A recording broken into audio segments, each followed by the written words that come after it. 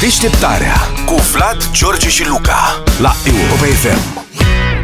Zeci de parlamentari PSD au inițiat un proiect de lege care prevede ca zilele de 6 și 7 ianuarie să fie zile libere. Bravo, domne, în sfârșit. Băi, acum pot, Hai mă, că asta e o nedreptate mare care s-a făcut uh, acestor sărbători. Așa este. Sfântul Și Ion e una altora. dintre cele mai mari sărbători românești. Adevărul că Adică eu m-am eu zic simțit că- de, de fiecare dată trebuie să vin la muncă de ziua mea. Eu o simt, ca român, Păi ce? o simt bara-bara cu Sfânta Maria. Și, a, dar, Și atunci, de ce Sfânta Maria să fie liber și Și Sfântul apropo, Ion nu? Sfânta Maria este azi, deci la mulți ani, doamnelor, domnilor. La mulți ani. Vezi Sfânta cu această Maria ocazie cum s-a... mică, Mică. chiquitita. Am înțeles. Da. Da, da. Păi Aia atunci mare, și ai n-au. și Sfântul Mihail și Gavril și Sfântul Gheorghe și Păi toți Sfântul sunt, nu. Alexandru și Toți toți. Sunt Gheorghe. liberi, de ce să-l ții pe Ion muncind? E liber de Sfântul Gheorghe? Nu, E liber de Sfântul Mihail și Gavril? nu. Dar n-au anvergura lui Ion. Crede-mă. Pă bune, deci... Nu voi este sănătos. Gheorghe a avut. Băi, Luca, Gheorghe, prin anii 70-80, era plin de Gigi, atunci da. Dar acum Eu i-am pe amândoi. pierde turație. În schimb, Nu Ion...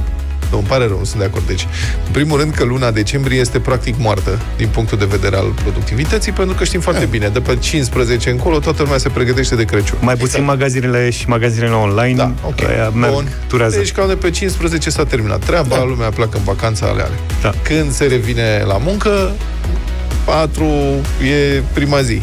Da? 1, 2 Dacă pică nefericit ianuarie. sărbătorile.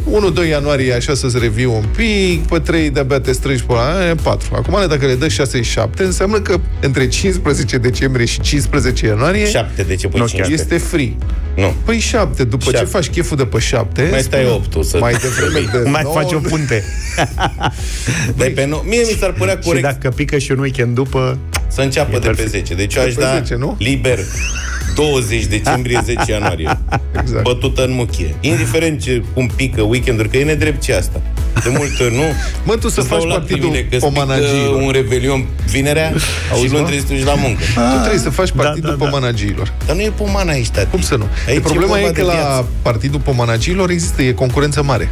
Adică din punctul ăsta de vedere, și avem un partid mare care Așa. ea, cu asta se ocupă. Cred că oamenii se strâng în ședințe și zic, bă, ce mai putem noi să dăm de pomană la alegători ca să ne voteze, că noi altceva nu știm să facem. Adică nu, nu putem. Suntem la guvernare de 30 de ani, 20 de ani am fost la guvernare, nu știm să organizăm construcția de autostrăzi, de căi ferate, de porturi, de aeroporturi, de... nu ne pricepem la astea. Infrastructură energetică, nimic, astea sunt complicate, sunt grele. Management, Păi nu vezi bun, ce se administrație, e greu. Nu știu și eu, dacă începe un război peste Uite. 20 de ani, am muncit degeaba. Dar de pomană ce putem să mai dăm? Să Bravo. mai mărim ceva. Mai mărim niște salarii, mai dăm niște bonusuri, mai dăm niște ceva, știi? Hai mai dăm niște zile libere. Bani avem? Nu avem. Ne dăm zile libere.